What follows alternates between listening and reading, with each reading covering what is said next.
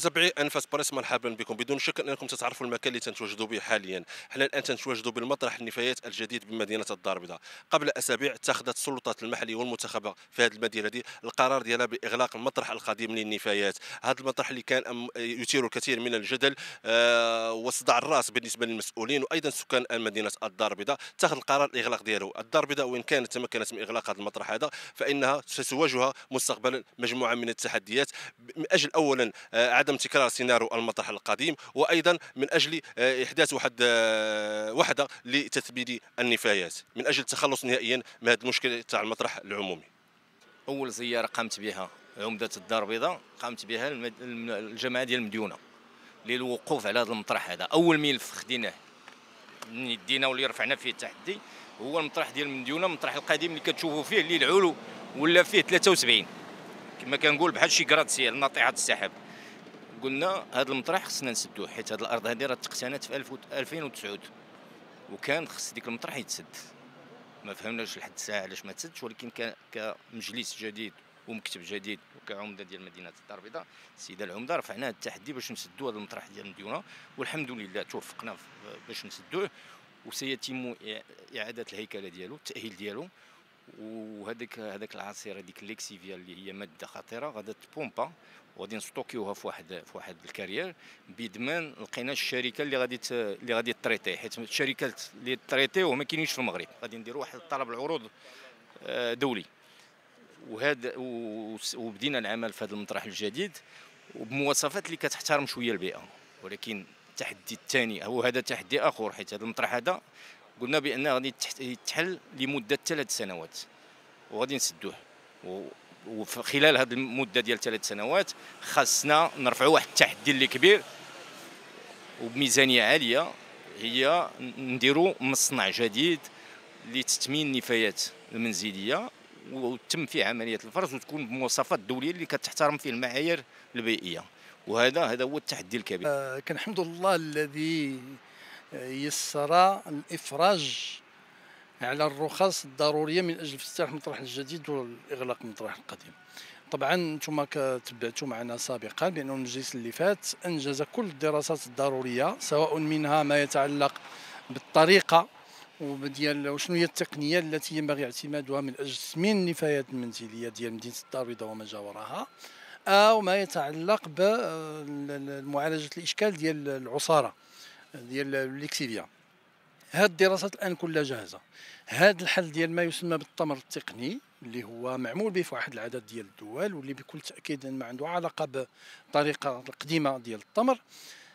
عنده طابع مؤقت وما يمكنش يتجاوز على حسب الدراسات المتوفره ثلاثة سنوات لذلك اليوم التحدي الأول باش نقدروا نلتزموا بهذا ديال هذه المدة ديال ثلاثة سنوات هو أنه خلال هذه الثلاث سنوات كيخصنا قبل ما تكمل هاد ثلاثة سنوات كيخصنا الوحدة والمعمل ديال ديال ديال تثمين النفايات المنزلية خصو يكون جاهز قابل للاشتغال. بدون شك أن مجلس مدينة الدار البيضاء وحده لن يتمكن من إحداث واحد وحده صناعية من أجل تثمين النفايات آه، اللي غتدخل هذا المطرح العمومي الجديد. الأمر التي يتطلب حسب مجموعة من المنتخبين تدخل حكومي وأيضا تدخل وبشكل أساسي جهه آه، الدار البيضاء سطات.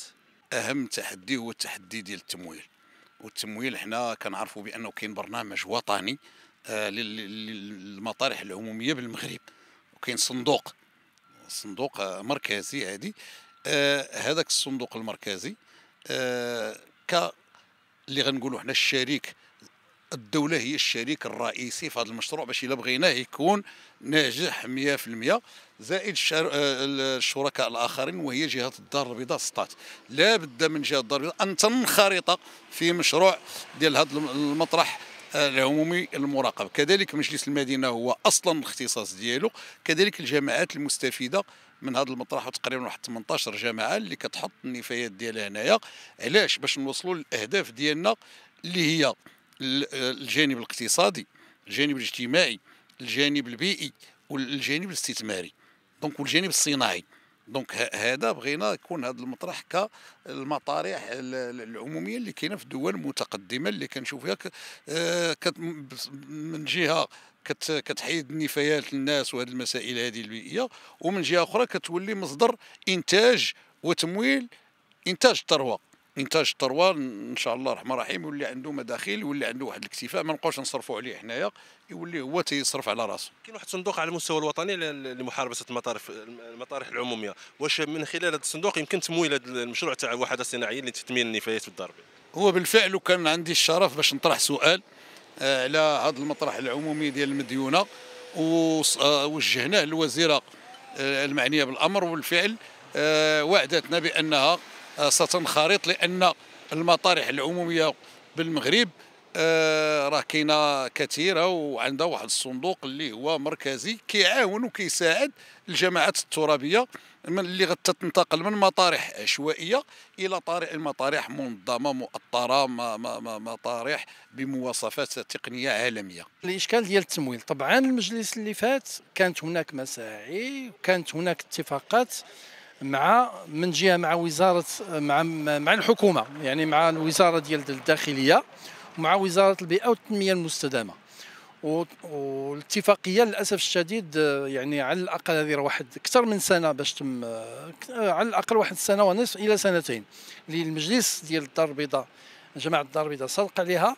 وكنا كننتظروا باش يكون التوقيع ديالو من طرف القطاعات الحكومية المعنية باش يوقع الإعلان ديال طلب العروض المتعلق بإحداث هذه الوحده ديال التثمين للأسف هذاك الشيء تأخر ما الأسباب ما عرفناهاش. اليوم أنا كنعتقد بأنه اليوم من الناحية السياسية ما دام الأغلبية الحكومية الأحزاب المشكلة للتحالف الحكومي. هي نفسها الأحزاب اللي كتسير الجهة وهي نفسها اللي كتسير تقريبا الجماعات كلها.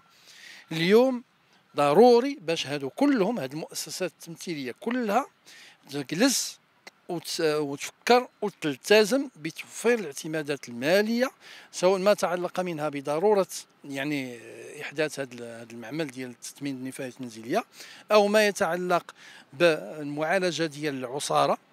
ماشي فقط الناتجة عن طمر النفايات الجديدة وإنما معالجه أيضا حتى ال- ال- الليكسيفيا المتراكم على مدى أربع أكثر من 40 سنة داخل المطرح وخارجه. إذا الإشكالية اليوم وكنظن بأنه الجهة تاع الدار البيضاء السطات ما يمكنش تبقى خارج المساهمة في هذا التمويل. آه، المجالس الجماعية الحكومة لأن هذا ماشي التزام سياسي فقط لأغلبية معينة أو هذا التزام ديال الدولة المغربية خاصة من بعد آه، لا كوب 22 وأنتم وحنا بطبيعة الحال حنا كن كن كن كنستبشروا خير وغادي من موقعنا في المعارضة إن هذا الشيء كل شيء اللي ممكن نساهموا به باش هذا التمويل يتحقق غادي نقوموا بطبيعة الحال وغادي نتبعوا ونتمناو التوفيق لأن هذه القضية ما كان لا تقبل الفشل فهمتي؟ لأن الف- لأنه السبه في حق مدينة الدار البيضاء وفي حق المغرب أنه يبقى عندنا مطارح من هذا النوع المدة الزمنية اللي تحددت لهذا المطرح الدفايات الجديد هي ثلاث سنوات. بعد ثلاث سنوات إن كان في العمر باقية غادي نرجعوا لهذا المكان ونشوفوا واش قدرات الدار البيضاء تخلص من مطرح النفايات واش قدرات الدار البيضاء دير وحدة صناعية جديدة. السنوات المقبلة وحدها الكفيلة بالإجابة على هذه الأسئلة هذه.